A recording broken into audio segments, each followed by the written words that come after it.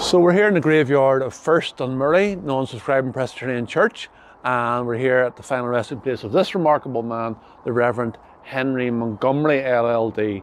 And it says who died on the 18th of December 1865.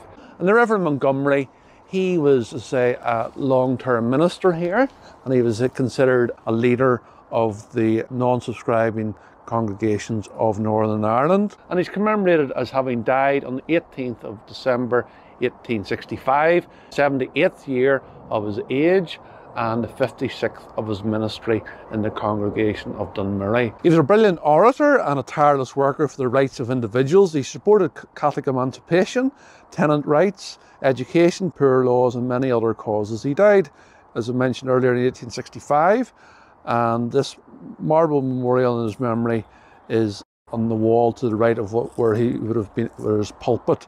Also commemorates his son, who served with the army in India and died on his way home from there. On the 18th of December 2015, the Very Reverend William McMillan, who's also buried in this graveyard, he unveiled an Ulster History Circle blue plaque commemorating the Reverend Henry Montgomery on the walls of this old meeting house.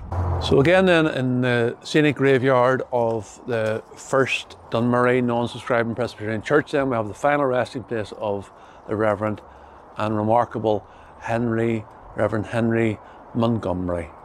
For 56 years the minister in this congregation.